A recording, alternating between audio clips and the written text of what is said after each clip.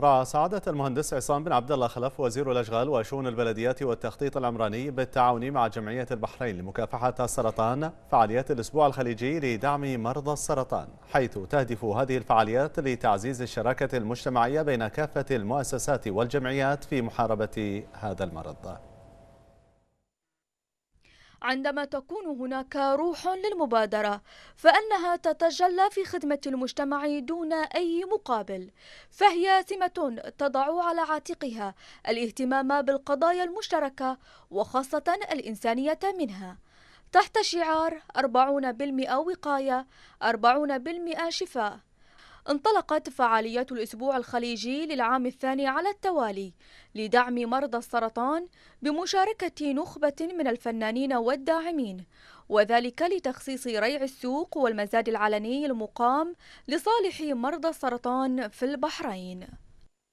طبعا أحضر اليوم أنا مع كل الأخوة المشاركين والمعدين إلى هذه الفعالية لدعم جهود جمعية البحرين لمرضى السرطان.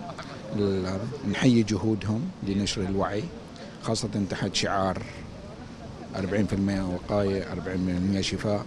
ونتمنى أن نصل إلى 100% وقاية من هذا المرض من خلال هذه الحملة التوعوية.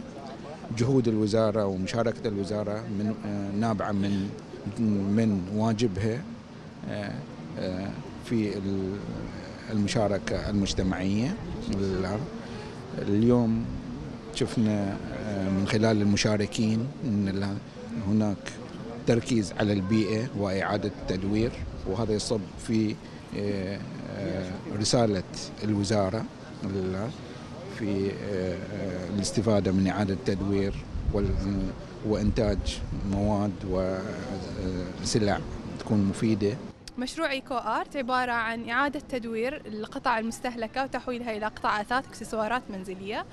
تواجدنا اليوم هني بدعم من البلدية الشمالية في الأسبوع الخليجي دعم مرضى السرطان.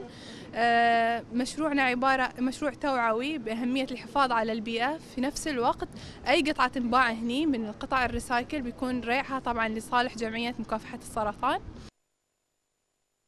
إن الفعاليات تركز على أهمية إجراء الفحوصات للكشف المبكر عن مرض السرطان بالإضافة إلى تقديم محاضرات توعوية حيث أن هذا المرض يمكن الوقاية منه باتباع نظام صحي بما فيه الغذاء وممارسة النشاط الرياضي في حين يمكن الشفاء منه حين التشخيص المبكر وتقديم العلاج اللازم.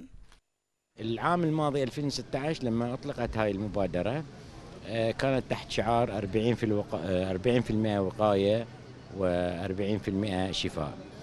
آه، السنة في 2017 الأخوة في اللجنة المنظمة ارتأت ان تستمر على نفس الشعار لما له من أهمية في توعية الناس الجمهور بشكل عام وكذلك ل يعني مثل ما تقولين تحفيزهم على إجراء الفحوص والأشياء اللي ممكن تقلل من خطر الإصابة.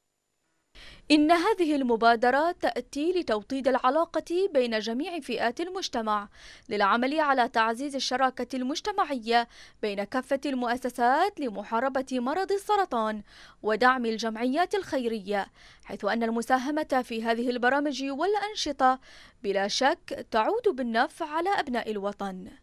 إيمان شرف لمركز الأخبار تلفزيون البحر.